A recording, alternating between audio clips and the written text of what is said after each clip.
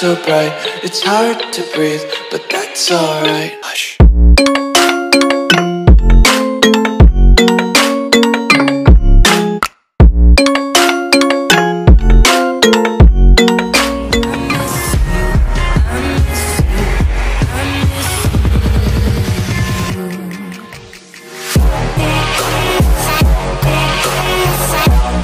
hello and welcome to my channel so first open Alight Motion then create a project. So keep file name splice. Now click on create project. First you have to insert a like image or a video that you want to keep background of a splash so select it.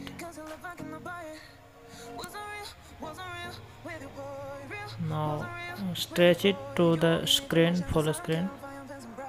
Yeah it's done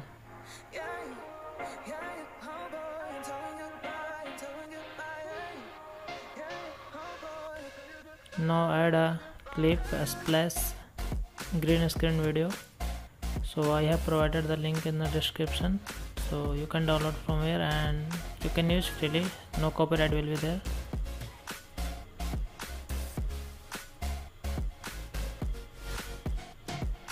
Now stretch the below timeline to equal to the above timeline. Now add effects and go to option matte slash mask key choose chroma key now adjust the threshold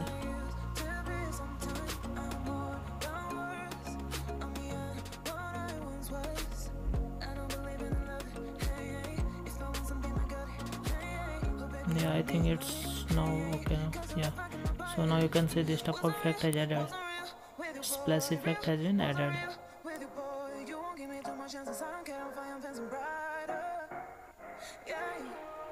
Yeah adjust the feather option also. Yeah it's okay now.